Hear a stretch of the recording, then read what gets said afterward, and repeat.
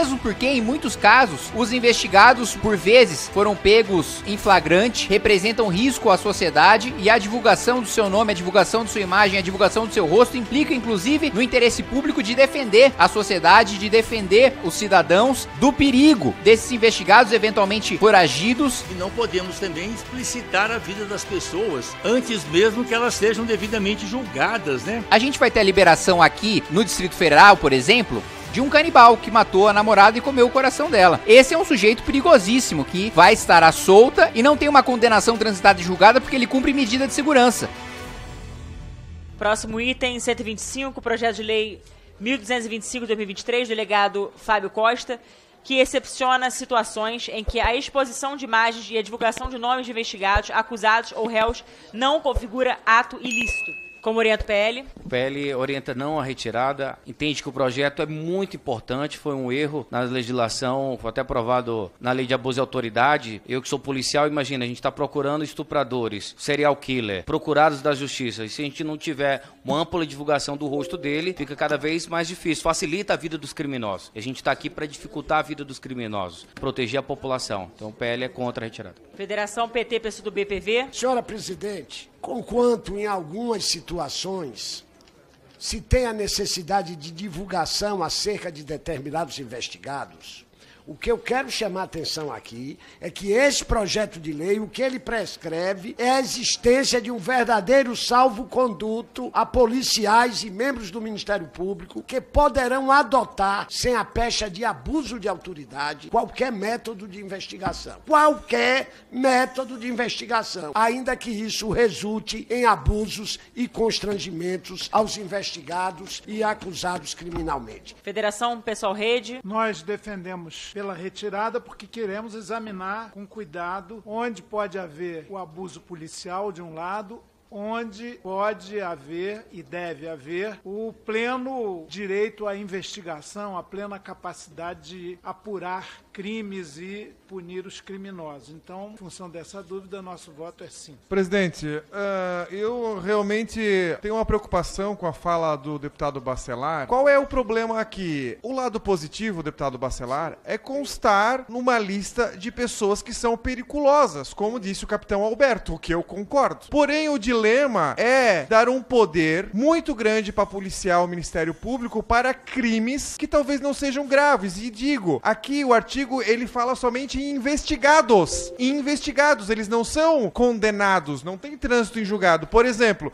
um investigado em descaminho, investigado em cortar uma araucária. Será que é razoável ele constar numa lista, ter a fotografia? Será que é razoável? Acho que em sua maioria ele é meritório e por isso eu vou orientar contra a retirada de pauta, mas eu tenho uma certa preocupação em talvez arrumar esses pequenos detalhes. Obrigado. Oposição? Oposição, presidente. Pois não, deputado. Imagina uma mulher foi estuprada. A polícia tem um suspeito. Encontra o suspeito, só que existe um processo, um processo legal do ampla defesa contraditório. Mas no momento que essa foto do estuprador, do possível estuprador, aparece na TV, aparece nos jornais, sabe o que acontece muitas vezes quando ele é culpado? Aparecem mais dezenas de vítimas. O que nós estamos aqui é ajudando a polícia a colocar estuprador na cadeia, é colocar assassino na cadeia. E a polícia jamais vai querer utilizar a imagem que não seja com motivo de uma investigação criminal. Em favor da polícia, por ter trabalhado como policial, sei da importância da divulgação da imagem de procurados, de estupradores, de assassinos. Os índices de resolução criminal é muito baixo no nosso Brasil. E com a lei do abuso de autoridade, nesse ponto, está ficando cada vez menor. Então está encerrada a votação. Rejeitada a retirada de pauta. Sim, 16 votos. Não, 22. 2. Em discussão, parecer do relator. Deputado Kim Kataguiri, primeiro escrito. Senhora presidente, acho que o projeto está bastante claro, bastante objetivo e dando todas as salvaguardas necessárias para que a gente não cometa injustiças. É basicamente um projeto que permite que você divulgue, por caráter informativo, educativo, os rostos, os nomes, a imagem das pessoas que estão sendo investigadas, que foram presas preventivamente, foram presas temporariamente, sem que isso configure, por exemplo, se enquadre, como foi lido e eu agradeço o capitão Alberto Neto pela leitura do relatório, dentro da lei de abuso de autoridade, porque só é abuso de autoridade, só se configura abuso de autoridade e há uma confusão hoje nas decisões judiciais em relação a isso, e esse é um dos objetivos da apresentação desse projeto, desse relatório, quando a autoridade policial, quando o promotor, ou quando o delegado, ou quando o juiz com a intenção de constranger, com a intenção de gerar prejuízo para aquela pessoa, com a intenção de tirar sarro, com a intenção de intimidar, com a intenção de abusar da sua autoridade, só se configura como abuso de autoridade nessas hipóteses em que a autoridade policial, em que o juiz, o promotor, para se divertir por um mero capricho, para constranger aquela pessoa que está sendo é, investigado, aquela pessoa que foi presa provisoriamente, aí sim você enquadra no, na lei de abuso de autoridade. Agora,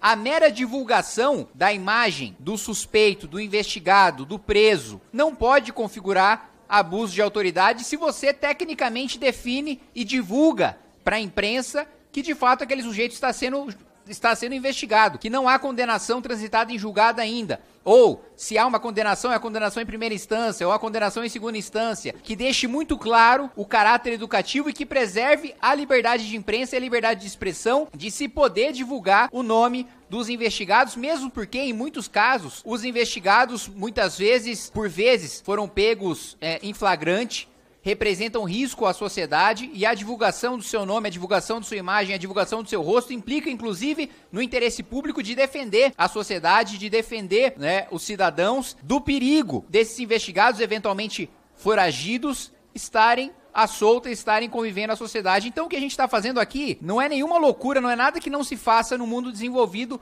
É, pelo contrário, é uma cópia de legislação é, de países em que isso é feito, em que isso é divulgado, justamente para preservar o interesse público, justamente para preservar a sociedade. Então, é muito claro, acho que não tem como ser mais claro do que a própria letra do relatório, do que a própria letra do projeto de lei em colocar que a lei excepciona situações em que a exposição de imagens e divulgação dos nomes dos investigados, acusados ou réus não configura ato ilícito, ou seja, quando há uma divulgação por parte da imprensa, por parte de redes sociais, do nome de investigados, acusados ou réus, muitas vezes de crimes graves, que são esses crimes que ganham maior repercussão midiática, e essa divulgação não pode ser criminalizada, essa divulgação não pode configurar ato ilícito, essa divulgação não pode acabar numa condenação por abuso de autoridade de um promotor que, por exemplo, combate o crime organizado. Um faccionado, né, ou a gente está discutindo agora no Supremo Tribunal Federal uma DPF que eu ingressei junto ao meu partido político em relação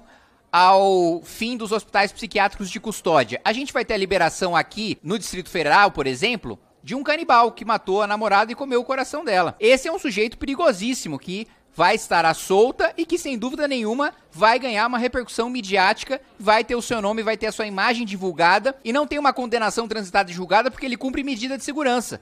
Então poderia se enquadrar a divulgação desse caso como um abuso de autoridade, como uh, uh, uh, um excesso por parte da autoridade policial, quando na realidade a gente está falando de resguardar o interesse público. Então os casos midiáticos de crimes graves que ganham essa repercussão e que, portanto, a imagem e o nome dos investigados são divulgados, são de interesse público e não há que se punir o promotor, o juiz, o delegado, o policial é, que divulga essa imagem, que divulga esse nome, deixando claro a condição de investigado ou a condição de suspeito daquela pessoa que está tendo a sua imagem divulgada. Então, sem mais delongas, presidente, acho que é uma questão até de bom senso, não é um projeto ideológico de esquerda, de direita, de centro.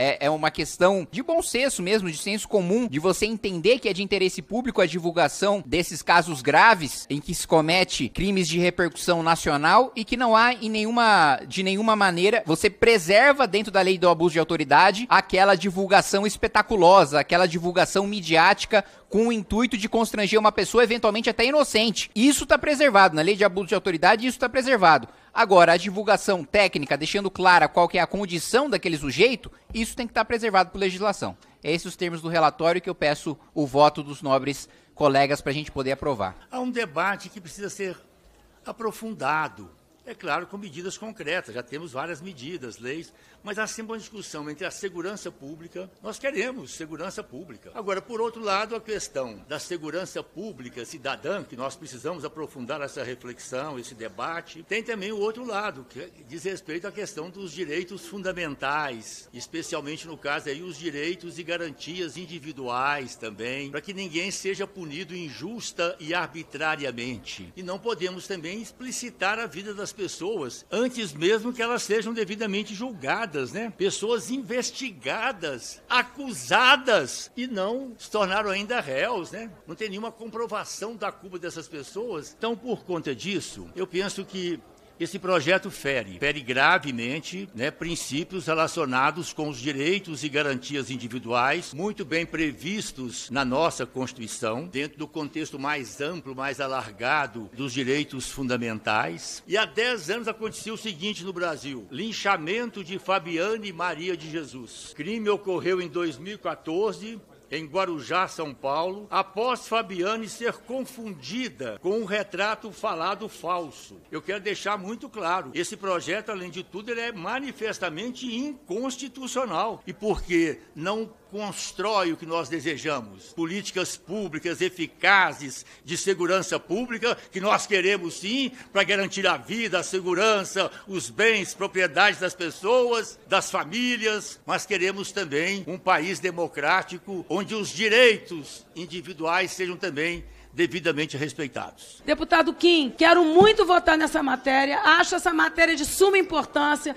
Eu acho que nós temos que dar ferramentas de proteção à vida das pessoas, que ela se sobrepõe a qualquer situação legal. Porém, a gente precisa saber se está sendo generalizada ou em quais situações essas imagens poderiam ser. Se há condenação, se é na soltura e é para quaisquer crimes ou alguns crimes. Isso que eu gostaria de ouvir de Vossa Excelência.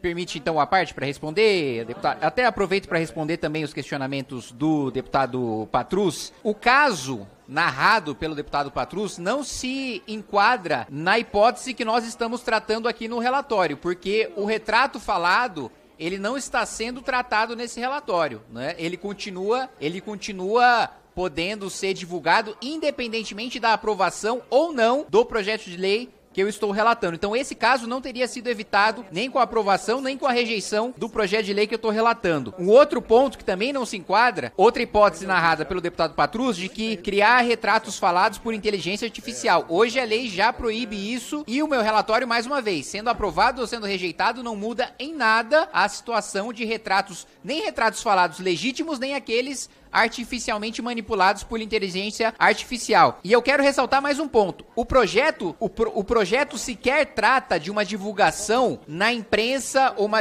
uma divulgação em redes sociais. O projeto trata da divulgação por autoridade policial com caráter informativo ou educativo, com uma narrativa técnica aos veículos de informação, ou seja, um promotor, um delegado, um juiz, uma autoridade policial dando uma entrevista e fazendo uma narrativa técnica do que aconteceu em relação a uma investigação que evidentemente não está em sigilo, porque se em sigilo estivesse, ele não poderia falar publicamente o nome das pessoas é, que estavam sendo investigadas. Então, nós estamos falando aqui de uma mera entrevista ou exposição técnica de uma autoridade policial, ou de um promotor ou de um juiz, e daí partir disso para divulgação em rede social ou para divulgação em veículos de comunicação é uma outra discussão que não está no escopo dentro desse projeto. A gente está falando de punir ou não o delegado, o promotor ou o juiz que de maneira técnica, não espetaculosa, divulga o nome de quem está sendo investigado para dar detalhes sobre a investigação que é pública.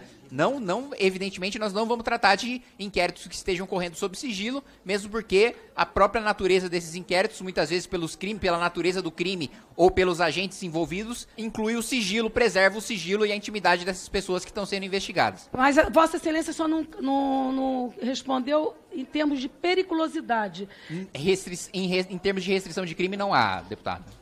Não há limitação. Eu acho que eu gostaria de, inclusive, solicitar a Vossa Excelência se seria possível, dentro do seu relatório, criar um parâmetro, se Vossa Excelência concordasse, até para retirar e ajustar, porque não seja para qualquer crime, mas pudesse ser para crimes de alta periculosidade, que se justificaria essa divulgação em massa na tutela. Ah. Essa seria a minha proposta a Vossa Excelência, deputado Kim. Presidente, a minha intervenção é justamente para dizer que a deputada Soraya está coberta de razão. O Brasil tudo é crime. O cara cortou dois palmitos, é criminoso. Traz um videogame do Paraguai, deputado Bacelar. É crime de descaminho. Qual é a razão de ser de fazer uma divulgação da foto do cidadão por qualquer tipo de ilícito, contravenção penal, pequeno delito? Eu não sou contra a gente restringir em termos de, de crimes hediondos, acho que a gente pode fazer essa construção. Perguntaria até se os deputados, deputado Helder me, me observa agora, se os deputados do PT poderiam fazer um acordo nesse sentido e a gente é, aprovar tranquilamente numa próxima reunião é, o relatório com esse ajuste. Mas eu não posso deixar de ressaltar um ponto factual, né? O deputado Gilson colocou o exemplo de uma pessoa que coloca, sei lá, um PlayStation na mochila no Paraguai e traz aqui para o Brasil. Esse tipo de crime já não é objeto de notas ou de divulgações por parte de delegados ou de promotores ou por juízes pela própria falta de relevância ou de repercussão. Então, eu acredito, eu quero fazer até uma, uma defesa da intenção do autor nesse sentido, porque que é delegado, porque ele tem essa, essa, experiência na prática de saber que esse tipo de, de delitos menores não há uh, divulgação por parte de, de autoridade policial em relação a isso. Mas em nome de um bom acordo, eu acho que a gente poderia sim fazer a restrição para crimes hediondos se, isso, hediondos, se isso atende a maioria. Eu acho que o foco do projeto, inclusive, melhora nesse sentido. Já que há concordância do deputado Kim, a gente retiraria eu quero, de... eu quero perguntar se a gente poderia fazer isso por uma complementação de voto nessa reunião ou... Não, não. Não, não, não, a gente faria na próxima... Se nós vamos fazer na próxima, então vamos queimar, pedido como sugerido pelo deputado Chico, um, um pedido de vista. Então, vista coletiva. Pessoal, começaram as eleições e se você você quiser saber qual que é o meu candidato a vereador na sua cidade, é só você clicar aqui no link. Ler e escrever com qualidade foi fundamental para poder chegar onde cheguei, tanto passando na universidade, como para fazer o trabalho de conclusão de curso, como depois na minha carreira profissional, como comentarista político, colunista de jornal e depois vencendo duas eleições de deputado federal, foi fundamental ler e escrever com qualidade, absorver o máximo possível dos livros que eu lia e também poder escrever primeiro redações e depois três livros já publicados publicados, todos eles muito bem vendidos. Se você também quer fazer parte desse time das pessoas que possuem a habilidade de ler, de escrever, de absorver aquilo que estão lendo, de conseguir passar suas ideias com clareza e com qualidade, a gente está agora com o curso Os Segredos da Escrita. Se você se interessou, é só você clicar no link da descrição do vídeo.